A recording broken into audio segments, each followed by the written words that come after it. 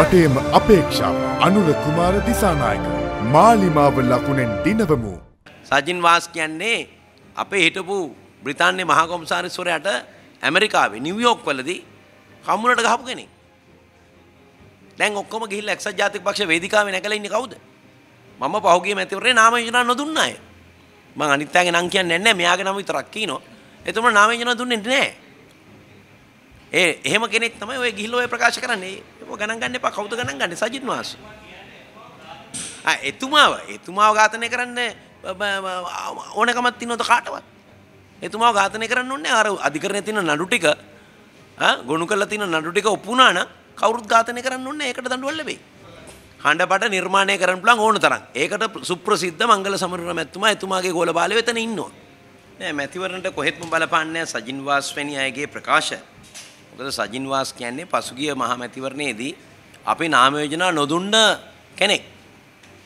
නාම යෝජනා නොදුන්න හේතුව පුළුවන් අධිකරණයට ගිහිල්ලා එතුමාට එරෙහි වෙන චෝදනා දිහා බලාගෙන හිටන මම අධිකරණයේ දැද්දී එතුමත් මම දැක්කා අධිකරණයට ඇවිල්ලා ඉන්නවා. ඉතින් අධිකරණ ක්‍රියාදාමයන් ගැන අපි කතා කරන්න යන්නේ නැහැ. ඒක ඒක ඉදිරි කාලයේදී ඒ ක්‍රියාදාමයන් සිද්ධ වේවි. නමුත් දැන් ප්‍රශ්නේ ඉන්නේ මෙතනින් ඇහුවේ එකක් මං දුන්න උත්තරේ සජින් වාස් කියන එක්කෙනාගේ ප්‍රකාශ මේ රට පිළිගන්නේ නැහැ කියන කාරණේ. දෙවෙනි කාරණය සුදුවෑන් සංස්කෘතිය කියන එක කොහෙද තියෙන්නේ? පාර්ලිමේන්තුවේ ප්‍රශ්නයක් ඇහුවාම විපක්ෂ මන්ත්‍රීවරයෙක් හැන්සාඩ් ගත වෙලා තිනවා. ආණ්ඩු පක්ෂයේ ප්‍රධාන සංවිධායක ගයන්ත කරුණාතිලක. එතුමා ප්‍රකාශ කරලා තිනවා කිසිදු පොලිසියක එහෙම පැමිණිල්ලක් නැහැ. කිසිම කෙනෙක් අත්අඩංගුවට අරගෙනත් නැහැ. ඉතින් වෙන මොකද්ද තියෙන්නේ? කොහේද අපිට කියන්න සුදුවෑන් සංස්කෘතියක් තිබුණාය කියලා පොලිසියක පැමිණිල්ලක් හෝ කොහෙවත් එහෙම එකක් නැති බවට පාර්ලිමේන්තුවේ උත්තර දෙනවා. ඒ නිසා ඒ සංස්කෘතියක් මවපු සමාජගත කරපු දෙයක්. හැබැයි දැන් සජිත් ප්‍රේමදාස මහත්මයා කියන්නේ ප්‍රේමදාස මහත්තයාගේ ඥාන තමයිලු එතුමාට තියෙන්නේ. අපි ඥාන පරීක්ෂණයක් කරන්නයි කියන්නේ නැහැ. හැබැයි ඒ ඥානම නම් තින්නේ ඔහු කරන්නේත් ඒ දිවංගත ප්‍රේමදාස මැතිතුමා කරපු දෙයම නම් හරි අන්න 88 89 90 යුගය මට පුළුවන් හොඳට උත්තර දෙන්න. මම 85 දිවුරුම් දීලා අධිනීතිඥවරයෙක් හැටියට කොළඹ මහාධිකරණය තමයි අවුරුදු 9ක් වැඩ කළේ 10කට ආසන කාලයක්. 88 89 90 ආපු වැඩිම නඩු ප්‍රමාණයක් ආවේ තරුණයින් සම්බන්ධ නඩු ත්‍රස්වාදයේ වැළැක්වීම පනත යටතේ. ඒ කාලේ තමයි 60000ක් තරුණයෝ අතුරුදන් වුණේ මිය ගියේ. ඇඹිලි පිටියේ පාසල් ශිෂ්‍යයන් 32ක්. මොකද්ද මොන කන්දද? සූරිය කන්ද. සූරිය කන්ද. යුනිෆෝම් පිටින් වලලලා තිබුණේ. පසුව තමයි ඒක හොයාගත්තේ.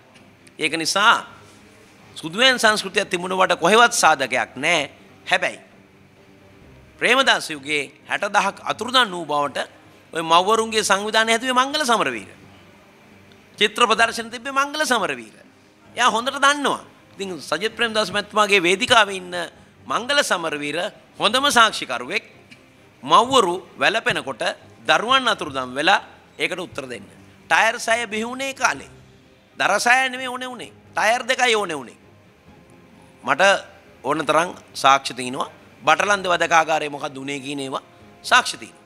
ඒක නිසා සජිත් ප්‍රේමදාස මැතිතුමා ප්‍රේමදාස උගයක් නම් ගෙන එන්නේ යන්නේ රිචඩ් ඩිසොයිසා මරලා හෙලිකොප්ටර් එකෙන් බිමට දැම්මයි කියලා ඒෂියා වීක් සංගරාවේ විදේශ සංගරාවක් ඒෂියා වීක් සංගරාවේ සාකච්ඡා වෙච්ච හැටි ඒ කාලේ හිටපු රොනි ගුණසිංහ SSP එක්ක හිටපු ආරක්ෂක ඇමතුමා ඒ කාලේ ඔහුත් මිය ගියා කොටි බෝම්බයකින් ඊට පස්සේ. අපි දන්නේ නැහැ මොන බෝම්බ එක ආගෙද කියලා. එහෙම යුගයක් තිබ්බේ. ප්‍රේමදාස මහත්මයා තමයි කිව්වේ දෙකොන පත් වෙන විලක්කුවක් හම්බුනේ කියලායි උතුරේ තස්සවාද එහෙන් කොටි දකුණේ නාඳුරුණ තුවක්කුකරු එහෙන්. මේ දෙකටම පුරවැසියා මැදිහත් වෙලා අහිංසක පුරවැසියෝ කී දෙනෙක් ජීවිතක්ෂරපත් වුණාද? රටේ ආර්ථික කඩම් වැටුණාද? කියන කාරණය 35ට වැඩි බොහෝ දෙනෙකුට මතකයි. 35ට අඩු අය දන්නේ නැහැ. මොකද ප්‍රේමදාස් මැතිතුමා අභා ප්‍රාප්ත වෙලා 93 93 ලා අද වෙනකොට කීයද අවුරුදු? 26ක් ගිහිලා තියෙනවා. නේද? ඉතින් ඒක නිසා මේ සජිත් ප්‍රේමදාස මහත්මයාට ඒක මතක නැතුව ඇති මොකද එතුමාට වයස අවුරුදු 25ක් 26ක් වෙන්නේ නැති කාලේ.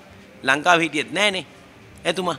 නිසා එතුමා දන්නේ නැතුව ඇති. ඒ නිසා තමයි ප්‍රේමදාස උගේ ගැන නැවත කතා කරන්නේ. නිසා සුදුවෙන් සංස්කෘතියක් කොහෙවත් වාර්තා වෙලා නැහැ හැබැයි 60000ක් අතුරුදන් වූ බවට වාර්තාවක් තියෙනවා සංවිධානයක් තියෙනවා. තාමත් ඒ මව්වරු මම හිතන්නේ මියේදිලා ඇති. දැන් මංගල සමරර හොඳම සාක්ෂිකරුවෙක්. මව්වරුන්ට වෙච්ච දේ දරුවා අතුරු දැමීම නිසා. Breaking.lk